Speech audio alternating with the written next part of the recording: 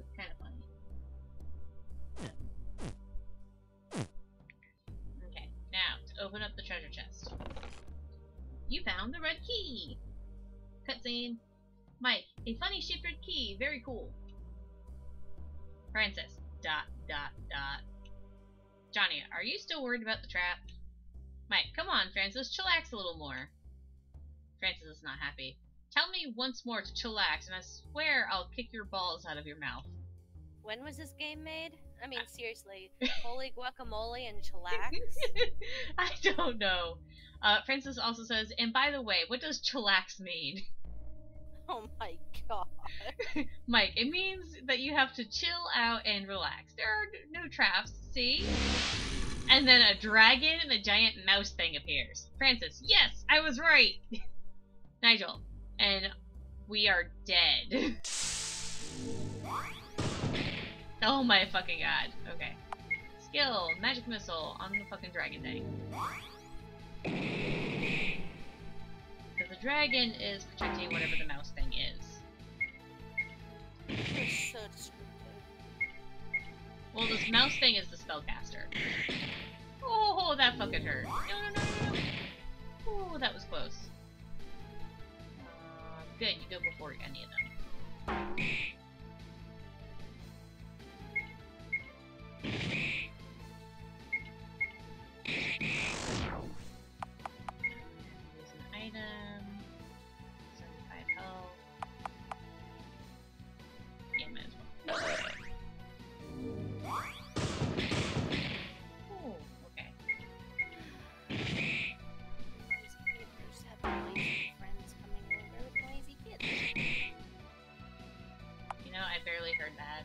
I, I you're mumbling. Yeah, pretty much to myself. Oh, I did 57 damage with my magic pistol to it. Woo. Please kill it. Please kill it. Yay! Killed it.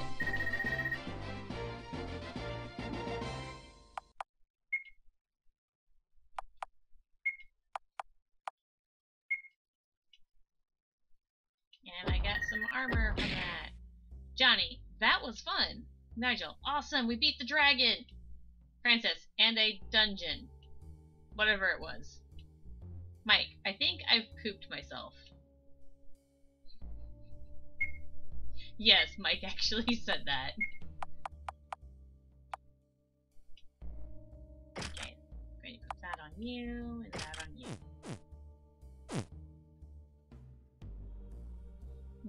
back to the beginning of the basement and use that key.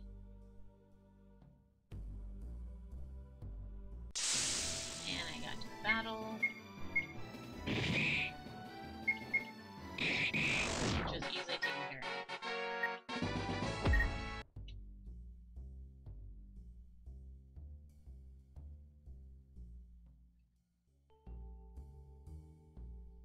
Okay, time to use the red key. They use the key and they're wa- walk into the room and it looks like space in the room. Like legit just space. Nigel, what is this place? Mike, this doesn't look like the Game Master's playroom. Johnny, Benjamin, are you there? Francis, I don't think the Game Master will answer. What the fuck? And now they're being teleported from location to location. Like, they're teleported to Japan, they're teleported to the North Pole.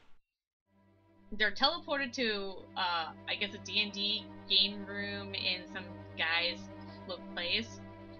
Masked guy says, Okay, so you finally enter the treasure room, but a big red dragon is waiting for you, ready to attack with its deadly breath. DK, do you know what they just referenced right there? Uh, not really. The Hobbit. Oh. Big red dragon in a treasure room. If anyone's ever. That actually describes a lot of dragons, though. Yeah, but this the next bit will actually hint as to what it is. Uh, cloaked figure gets an idea. Crap. Okay, I cast an invisibility spell on myself to try to sneak behind it. The group pops in. Nigel says, "Don't do that. Dragons can smell invisible creatures." Yeah, that's definitely the cloaked figure, really? Mask guy, who the hell were they?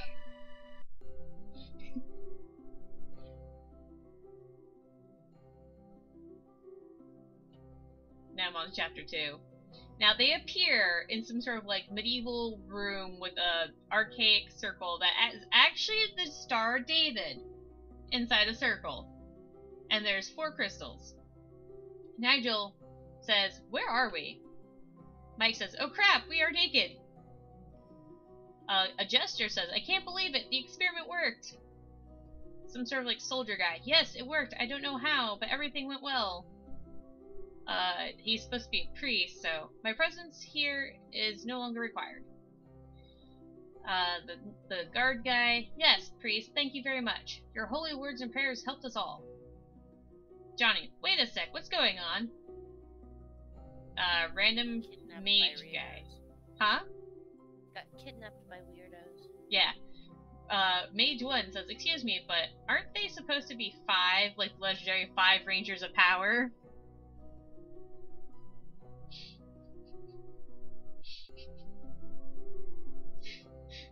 Think DK should know very well what that's referencing.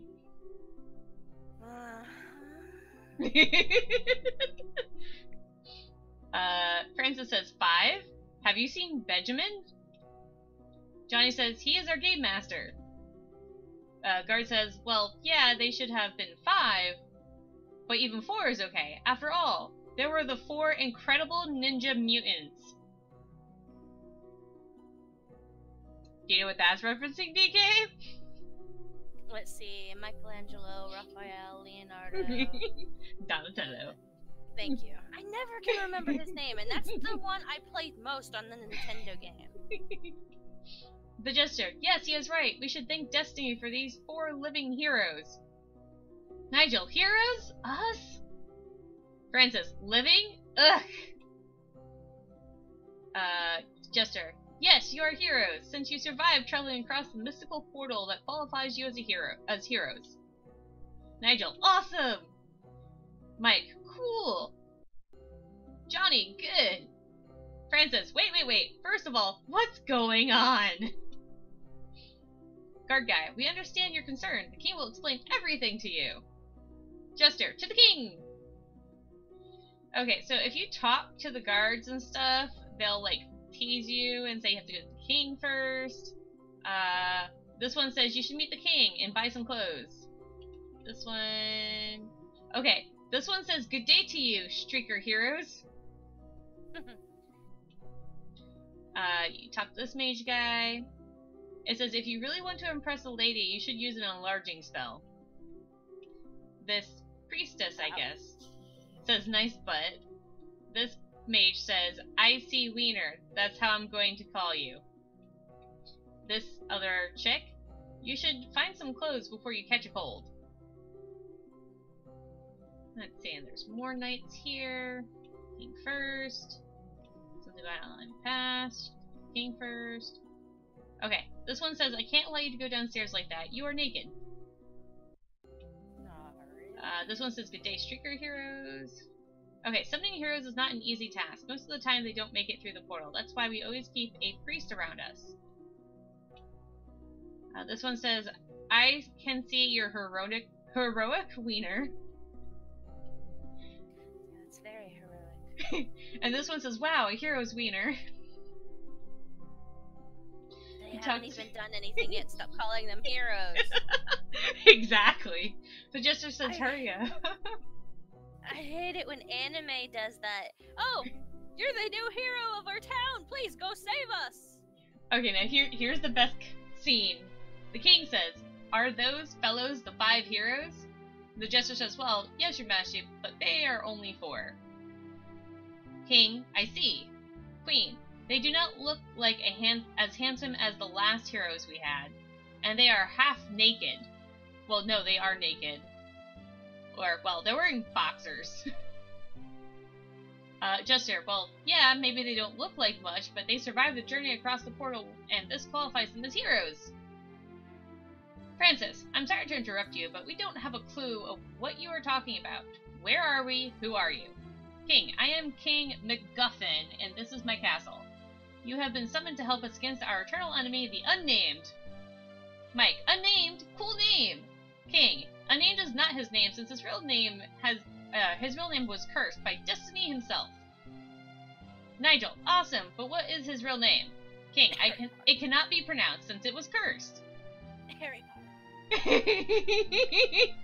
oh, wait, wait. Oh, shoot. Okay. So, the part that it skipped didn't let me, like, click through was Nigel was talking about trying to figure out the name, and Mike's going to join him. Uh, Johnny, what, but what has he done in order to become, or to become your number one enemy? King, who knows? Johnny, what? Uh, Knight Guy from before, you see, Destiny always selected some heroes able to stop the unnamed long before he could do anything evil. King, so we've never known what unnamed was up to. Queen, but since you are the heroes now, you will be the ones to stop them.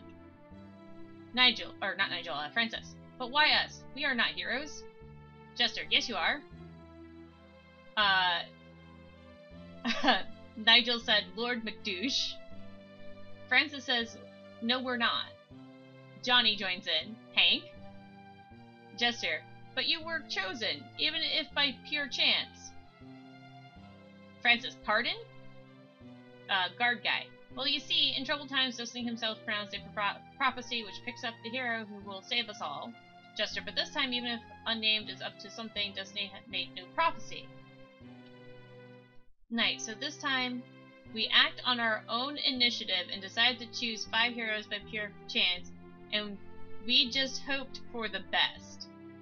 So instead of waiting for this Destiny person to summon somebody to help, they went ahead and did it on their own for no reason. Oh, come on. You all know Unnamed has Destiny all tied up in the bedroom. You know that, right? uh, Francis, what? That's the craziest thing I've ever heard. King, but, uh, indeed, but crazy times require crazy solutions. There is nothing going on. You literally have no idea what Unnamed is up to, and you're going and summoning people from other worlds to your world. World. That is so stupid.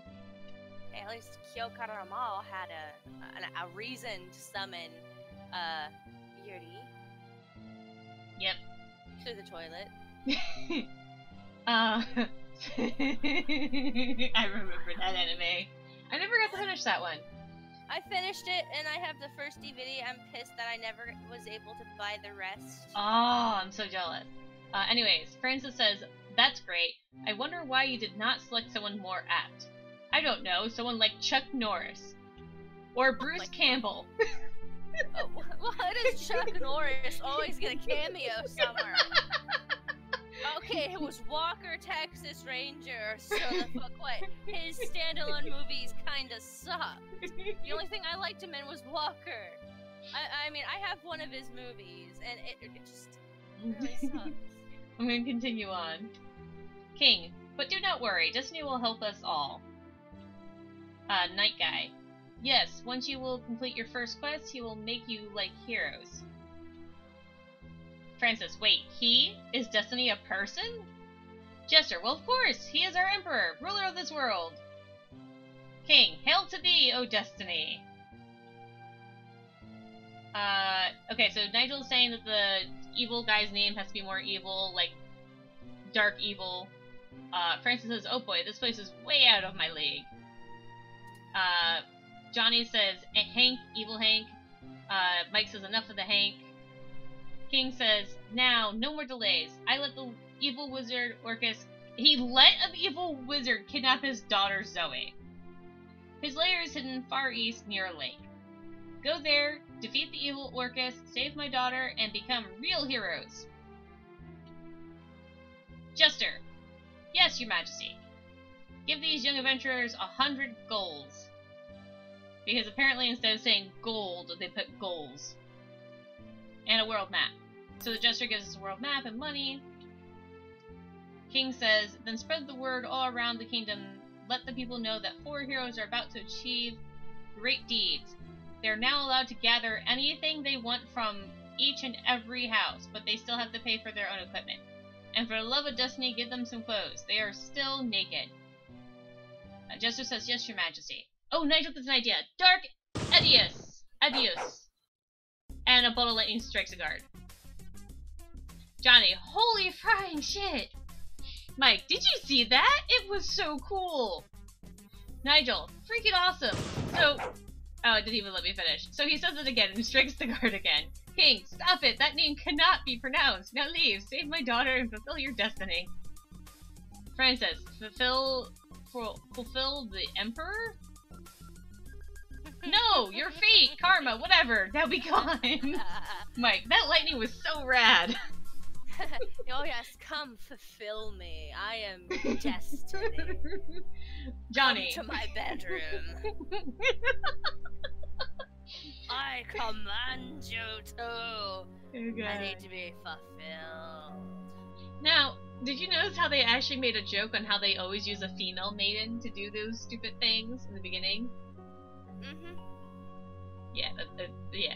They're, they're like making like a shit ton of like references and memes and stuff like that. It is so funny. uh, Johnny, well that was fun. Nigel, who would have thought you utter a name and BAM! Lightning strikes. Mike, and they gave us these nice clothes too.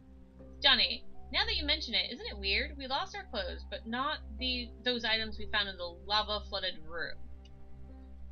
Nigel, I'm still not at ease with what they gave me. I'd rather wear something fancier. At least it's blue. Mike, question. Where are we? What is this place? Which Johnny. one's the Pink Ranger? Uh, it's blue, yellow, green, and red. Okay, What? so the missing the missing GM dude is the Pink Ranger. Gotcha. Okay. Uh, Johnny, it's too well done to be a Benjamin scenery. Scenery. Francis, do you really think this is all scenery? What do you think this castle is made of? Cardboard? It's made out of cookies. Mike, chill. Uh, Mike says, Well, so tell us, what do you think has happened? Francis, I have no idea. Maybe some kind of parallel dimension, a fantasy world with magic, princesses, monsters, and fantasy. I don't know. Nigel, whoa, a parallel dimension. That's more than awesome. It's giga awesome. One billion times awesomer. Mike, but is that, but is it possible? Francis, I have no clue, but we are here and we have to deal with it. Nigel, so what do we do now? Are we going to save the princess? Johnny, yeah, so they might give us a reward. Maybe a magic item. Francis, or tell us how to go home. Let's take a look around. Maybe we can find a way back. Okay, let's do it, says Nigel. And Mike. Uh, Mike says, and maybe we may find Benjamin. Johnny, as a game master, he'd love this place. Hey, my bot poofed. What the fuck? So Nigel has now learned the spell Dark Eat Us.